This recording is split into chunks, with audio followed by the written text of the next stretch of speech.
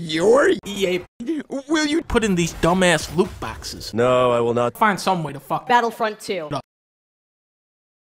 greed is a path to the money? Okay, I'll Fuck it up.